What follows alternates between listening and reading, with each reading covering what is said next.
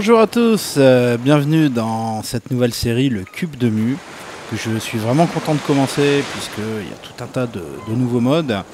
Je ne vais pas dire qu'on avait fait complètement le tour euh, à la cité industrielle, et d'ailleurs j'ai repris les modes ici, ça va d'ailleurs être à peu près les seuls que je connaisse. Le... Donc il y a un côté RP, voilà, le côté RP déjà ça commence avec mon nouveau, euh, mon nouveau skin, un skin d'Amérindien, euh, donc d'Indien Anasazi mettons, euh, qui, a quitté, euh, qui a quitté sa terre natale pour revenir découvrir les secrets des ancêtres, qui était le peuple de Mu. Pour l'instant le cube, grand chose, il n'y a rien en fait qu'on sait utiliser, hein, c'est plutôt, de la déco pour ce qu'on sait en faire.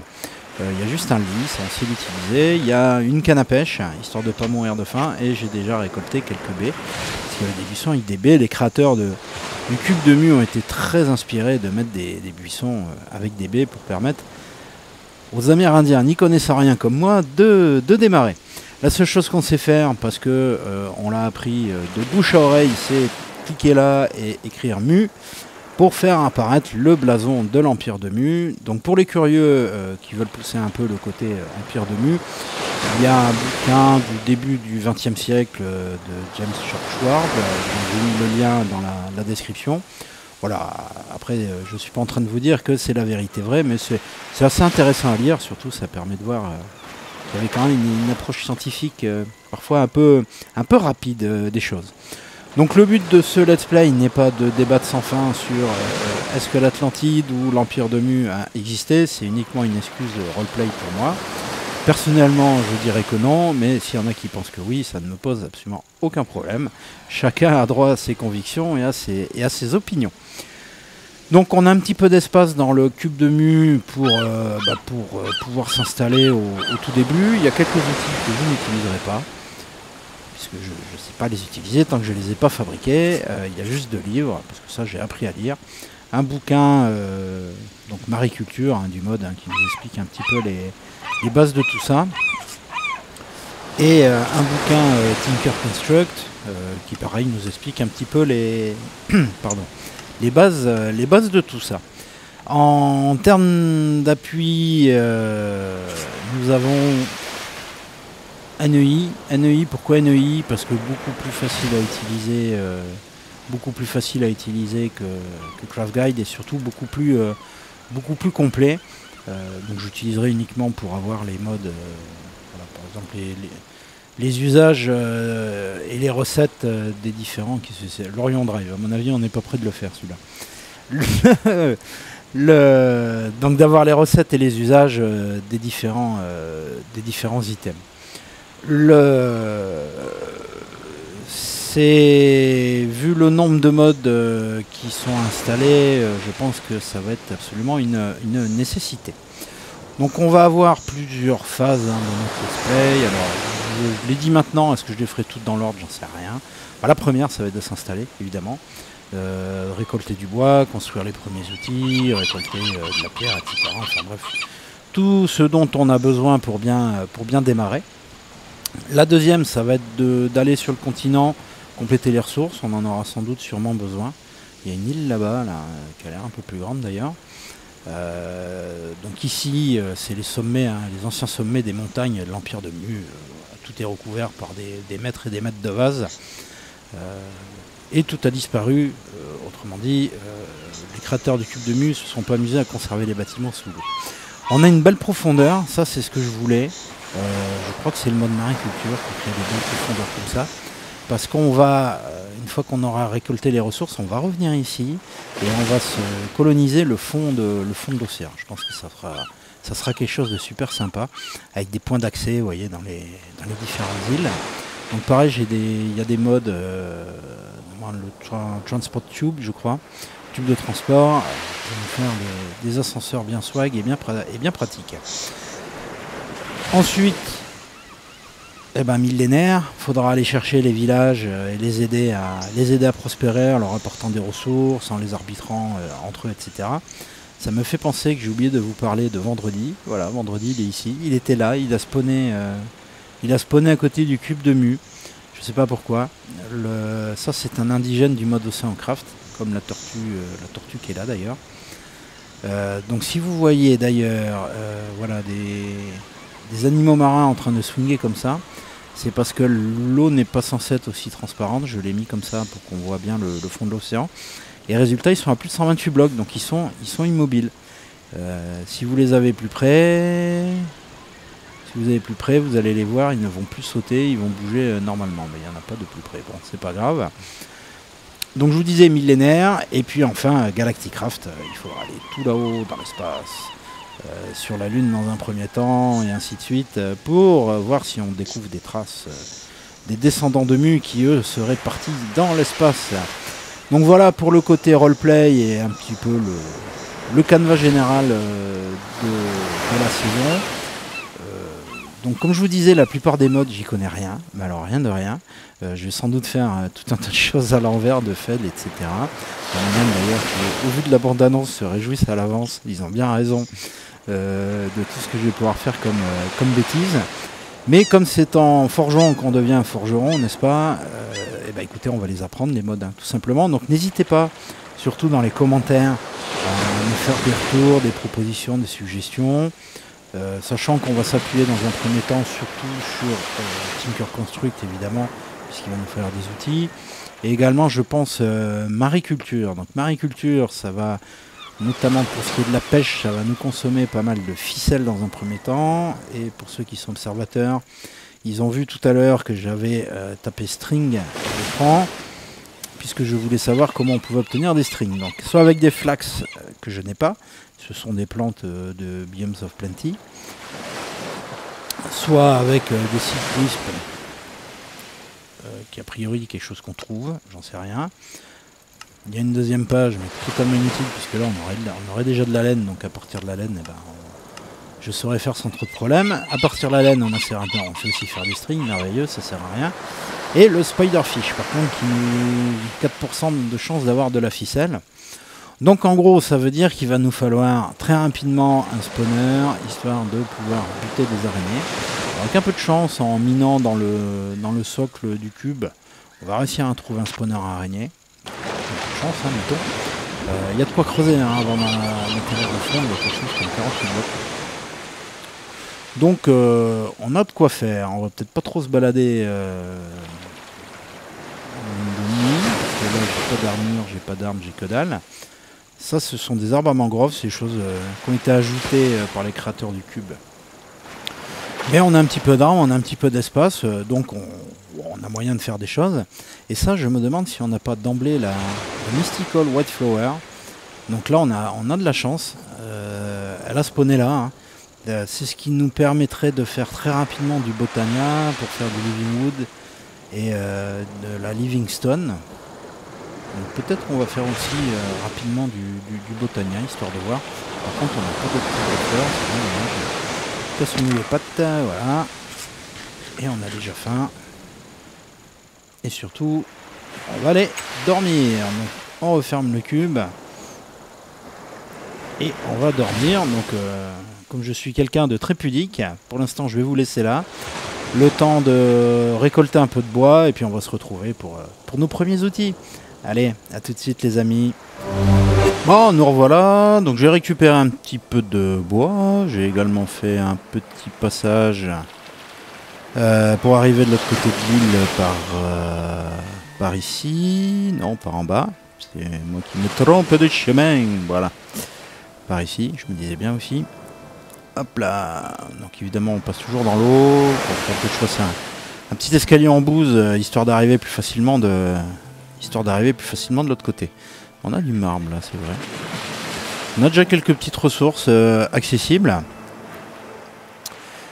Donc première étape, euh, ça va être... Euh, j'aurais peut-être pu attendre un peu pour récupérer des... Pour récupérer des, des pousses d'arbres. Ça aurait peut-être pas été plus mal. Bon, en tout cas, on a notre bouquin Tinker Construct et on va pouvoir se faire nos premiers outils. Euh, de toute façon, je connais. Les crafts de base, je les connais. Après, quand on va aller plus loin dans le mode, euh, ça risque d'être un peu plus compliqué pour moi. Donc, première étape, ça va être de... Euh, de se faire une table de craft, mais version euh, Tinker Construct, donc une, euh, une crafting, crafting station. J'ai vraiment du mal des fois à passer du français à l'anglais. C'est quoi l'intérêt de la crafting station? C'est que là, vous faites. enfin, D'ailleurs, je fais ça, mais voilà. Quand vous faites ça, si vous êtes sur une table de craft normale, euh, vos items qui sont restés dedans vont popper. Ben là, ils restent. Voilà. C'est le, c'est le côté un peu plus pratique. Hop, on va se faire des sticks. Donc le premier, euh, le premier craft, on va s'en faire, euh, on va s'en faire une petite tripotée d'emblée. Le premier craft, voilà, c'est de faire des, des blank patterns qui vont nous permettre de fabriquer tout le reste des éléments de. Et d'ailleurs, ça nous fait arriver des bouquins qui va nous permettre de fabriquer, on va virer l'interface NEI pour l'instant, qui va nous permettre de fabriquer tout le reste euh, des éléments, euh, enfin des, premiers outils euh, Tinker's Con- Construct, bon Tinker on va dire, hein, ça, va, ça va être plus court. Je vais pas avoir assez. Il faut aussi que je fasse un coffre. Donc ça, le stencil table, on va l'utiliser quasiment tout de suite, puisque c'est ce qui va nous permettre... euh, c'est chou bouillant quand même là en termes de ressources. Je pense que je vais devoir aller rechercher un petit peu de bois. On va avoir du mal à se faire euh, nos, premiers, euh, nos premiers outils. Donc le stencil table, c'est ce qui va vous permettre de dessiner, enfin non, de comment dire, de faire l'empreinte, le moule, voilà, des outils, des parties d'outils surtout. Donc il y a à peu près tous les types. hein. Vous avez, faut mettre d'abord un pattern. Euh, à droite, donc les têtes de flèches. Fletching, ça doit être là que des flèches. Euh, Bow limb, ça je connais pas là. Euh, crossbow, ah oui, on peut faire des arbalètes, euh, c'est marrant ça. Et ça là, c'est quoi? Un shuriken, mazette. Bon, en tout cas, l'outil de base, euh, généralement il vous faut un manche. Généralement, mais pas toujours, il vous faut un tool binding. Et puis après, voilà, il faut euh, une tête de hache, une tête de pelle, c'est peut-être pas le plus utile, mais c'est pas grave. Euh, une tête de hache, n'importe quoi. Une tête de pioche, une tête de pelle, une tête de hache. Euh, on va pas faire de faux pour l'instant, ça sert à rien. Je sais pas ce que c'est les ronds-pannes, ça doit être une poêle. Whiteboard, tout un tas de trucs que je connais pas. Pour l'instant, hein, ça va venir, ça va venir. Ah, on peut faire un chisel. Ah, ça, sera intéressant pour la déco. On peut faire des dagues, mais on va se faire plutôt une épée, une épée en bois.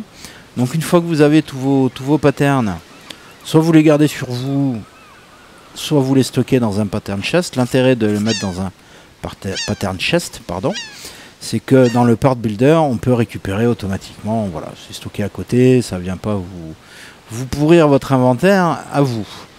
Donc évidemment, il faut qu'on démarre euh, par. Il me manque un outil. Il va me manquer. Oui, il va me manquer pour assembler le. Pour assembler tout ça ensuite. Donc on va faire une tête de pioche. On va y aller mollo parce que euh, très clairement on n'a pas trop et euh, il me manque. Je vais le trouver dans le livre. In the book Materials New euh, qui raconte que que que que donc la stencil on a fait, porte crafter. Oui bah voilà, je suis bête la, la tool station tout simplement.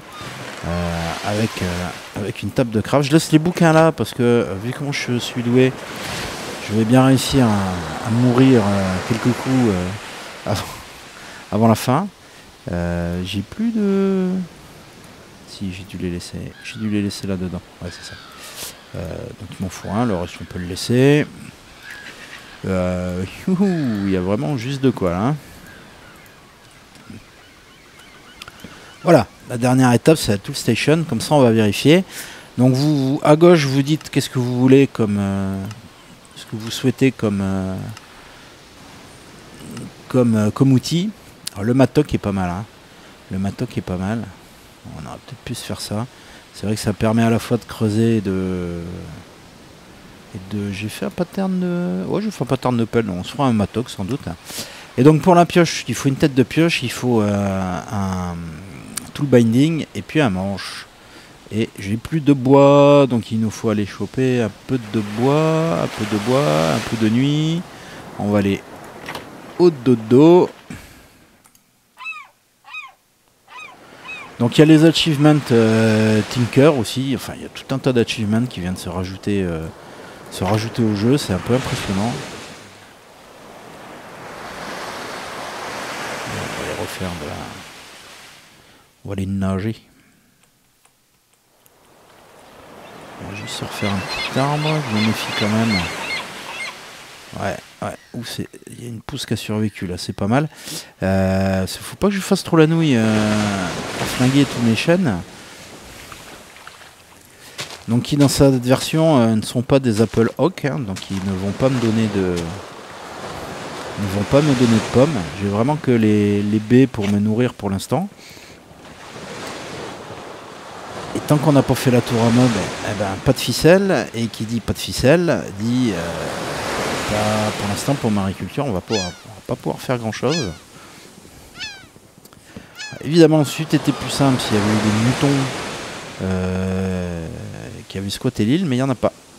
Il n'y en a pas, c'est par ici, c'est bon. Pas de moutons, pas de laine, pas de laine, pas de ficelle, évidemment. Hop là, voilà. Donc là, on a récupéré quand même un petit peu plus de bois. On se garder une bûche au cas où. Ah oui, il y a un truc même que je vous ai pas montré. Euh, c'est ça, voilà. Euh, vous avez sans doute remarqué que les arbres euh, ont des feuilles très particulières. Bon là évidemment ce sont des palmiers. mais c'est quand même nettement plus joli, nettement plus joli que le, skin de base. Donc c'est le mode Better Foliage qui fait ça. C'est également le mode Better Foliage qui vient euh, poinçonner en hexagone les. Ça se configure d'ailleurs, ça. Hein. Euh, qui vient poinçonner en hexagone les, troncs d'arbres pour que ça fasse un peu plus, un peu plus réaliste. je pense que du coup, des poutres, euh, des, bûches comme ça, ça doit être, ça doit être assez sympa. Donc la tête de pioche, c'est bon. donc après, on a dit un. dommage, ça ne vienne pas directement là-dedans. Donc ça produit des sticks aussi, je sais pas pourquoi. On va vite se retrouver avec un petit, un petit stock de, sticks. Euh, donc attendez, j'ai la tête, oui, c'est le. Il me manque le manche. Voilà, donc pour faire notre pioche. Ensuite, on a dit qu'on se faisait. Alors le mattock, est-ce qu'on peut le faire en bois? Ah, ah, Bonne question. Euh, il y a aussi un autre point, voilà, je vous ai pas montré, c'est euh, pour chaque produit Tinker, on a différentes statistiques. Donc une durabilité de base, 97, 97 coups. Hein. Euh, handle modifier, qui est à 1, donc ça ne modifie rien. Une vitesse de minage. Un niveau de minage, ça veut dire que là on peut miner jusqu'au fer. et puis en attaque, bah, ça vaut que dalle. Est-ce qu'on va pouvoir se faire un matok en bois? Je sais pas. Je sais pas, je sais pas. Je suis pas sûr. Je pense qu'il faut un. Il faut un premier niveau qui est. Euh, euh, et il va me falloir au moins un manche. Voilà. Donc là maintenant on a. Normalement on a un bon bout de ce qu'il nous faut. Euh, le matok, on va tester ça tout de suite. Ouais non on peut pas faire de matok en bois, c'est bien ce qui me semblait. Euh, par contre, je peux faire, une pelle. Euh, peut-être plutôt une hache, ça sera plus utile qu'une pelle. Pour l'instant, on n'a pas encore trop de terre à, déblayer, donc on est Tinkerer. Et euh, également, ça plus important, l'outil de base toujours dans Minecraft, qui est la Wooden Pickaxe. Voilà, donc on a pareil, donc vous voyez toutes les, infos ici, en passant le curseur, je crois qu'il faut sneaker. Euh, bon, bref. Euh, on peut, normalement, on peut avoir un peu plus de stats, je crois. Voilà, donc comment on fabrique les, outils Tinker. C'est vraiment tout ce qui est de plus bête. Hein. Ce qui est intéressant après, c'est de pouvoir mixer les matériaux qu'on va, euh, qu'on va utiliser là pour faire nos parties d'outils et qui vont donner des caractéristiques différentes aux. J'ai pas remis la télé. Hop, et qui vont donner des caractéristiques différentes aux, outils. Voilà, bah écoutez, euh, moi je m'en vais euh, faire des petits trous un peu partout. On va commencer à récolter nos, premiers minerais. Je vais finir de récupérer le bois qui reste, replanter. Enfin bref, tout, un tas de choses qui sont pas forcément passionnantes. Hein. C'est toujours ça. Excusez-moi les gens, c'est toujours ça dans, dans le début d'un monde Minecraft, c'est toujours un peu laborieux. Alors j'ai installé Ex Nihilo. ça peut être aussi une façon de faire et de démarrer, on va dire plus dans un esprit Skyblock où on considérait que les ressources sont limitées. Euh, après, je suis pas fan parce que je, trouve toujours ça un peu bizarre.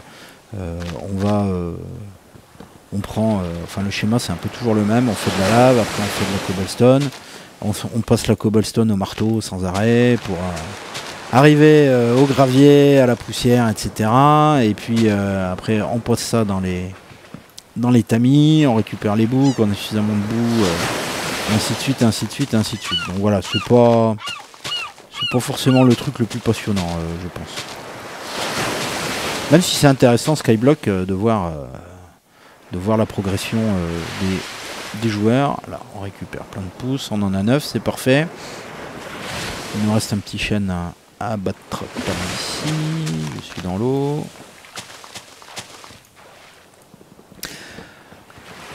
Donc voilà, je vais continuer à casser un petit peu euh, tous les arbres. On peut faire ça. Ouais, ouais, bien, bien caché, bien caché. Bah écoutez les amis, c'était le premier épisode. le deuxième va arriver, euh, deuxième va arriver assez rapidement. Euh, je vais essayer de me tenir comme pour la site industrielle à au moins un épisode par semaine minimum. Voilà, un ou deux. Euh, ça va dépendre de ma disponibilité et du temps que, j'ai y consacré. En tout cas, nous voilà bien partis. Nous sommes sur euh, l'île du cube de Mu qu'on aperçoit vaguement euh, entre les feuillages. Et bah, écoutez, la cité industrielle ça vient de fêter ses trois ans. Donc je ne sais pas combien de temps durera, durera cette aventure-là. On va peut-être essayer d'aller un petit peu plus vite quand même. Mais en tout cas, l'esprit, c'est toujours le même, c'est de fouiller un maximum les modes. Quand j'ai démarré la vidéo, je vous ai parlé euh, des principaux modes, j'en ai quand même oublié un d'importance, qui est Computer Craft. Donc ça, on pourra commencer à travailler dessus quand on aura découvert du, fer, puisqu'on ne peut pas avoir de tortue euh, ni d'ordinateur avant d'avoir découvert le, fer. Donc ça va quand même arriver, euh, assez vite. donc l'idée Computer Craft, c'est quand même de se décharger de la partie la plus ennuyeuse. Euh, sachant que vous l'aurez remarqué, je n'ai pas d'arbre à caoutchouc, euh, je n'ai pas trouvé d'arbre à caoutchouc sur l'île du Cube. Ce qui fait que pour l'instant, tout ce qui est Industrial Craft 2, euh, eh ben, c'est tout simplement inutilisable. Parce que sans caoutchouc, on peut, on peut faire des choses, mais à part s'électrocuter avec les câbles, et généralement être bloqué sur la construction des machines, on ne va pas très très loin. Voilà les amis, pas grand chose évidemment pour l'instant pour ceux qui connaissent bien ces modes là. Euh, on a juste utilisé Tinker's euh, Construct un tout petit peu. Ça va devenir un petit peu plus intéressant pour la suite. Et forcément, je suis désolé, mais beaucoup de blabla. Fallait quand même expliquer un petit peu tout le principe de l'aventure. Voilà. J'espère que l'épisode vous a plu malgré tout. Et puis je vous dis à très bientôt les amis. Ciao, bye bye.